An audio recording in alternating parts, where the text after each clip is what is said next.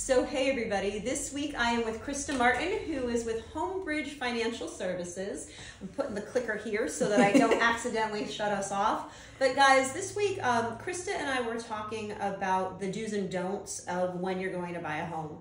And I obviously, as a realtor, have do's and don'ts for mm-hmm. the clients, but you have some really important do's and don'ts of what they can and cannot do while we're in the process of getting them completed and sold. So why don't you go through yeah. some of your do's and don'ts? Absolutely. Please? Thanks, Shelby, for having me. I appreciate it. Um, so hey guys, just on a few notes with your income, assets, and credit, some do's and don'ts to keep in mind when you're working with your lender.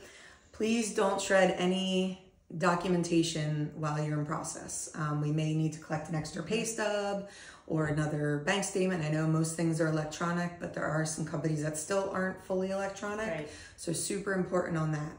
Um, as far as your credit goes, don't go and get new credit, do major purchases. Don't go ahead and buy, you know, new car, sign co-sign for your grandchild, kind appliances, of yeah. any of that nature until the loan's closed because those purchases could affect what we call your debt to income ratio, mm-hmm.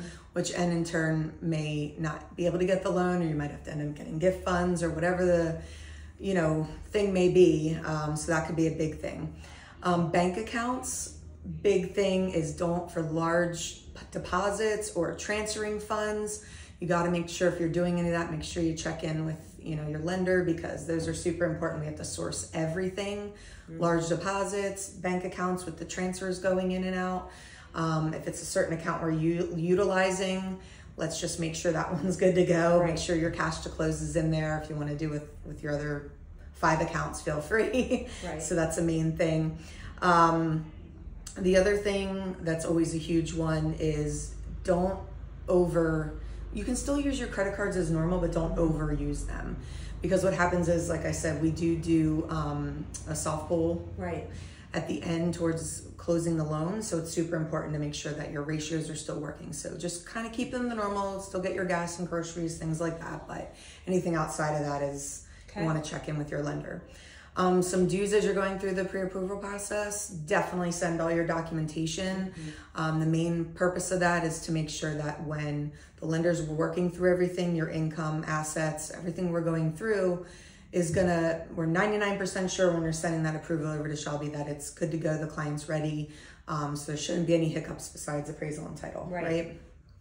Um, the other thing is staying at your current employer.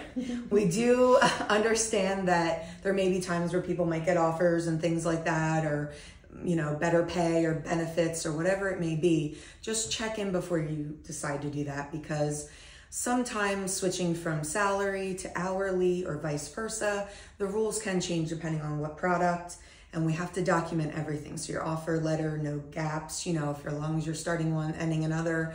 So just make sure that if you are deciding to do that, it has to make sense. And, mm-hmm. you know, it can be really awkward going to your former employer saying, please hire me back. I need my job. Yeah, definitely. so, any changes as far as, like I said, your bank account, your credit, or employment is super important to just especially once you have the pre-approval because like i said before we will find out yep. um, through even when you get under contract uh, we do a soft pull credit report and we do verify your employment also a few days before closing. So super important on that to keep everything consistent. Those so are some really great do's and don'ts. And guys mortgage mom here has been doing this for a really long time. I know that you've probably seen a lot of these don'ts that have um, been painful lessons learned. So Definitely. take take acknowledgement of these tips this week, and we hope you have a great week. Thanks, guys. Thank you.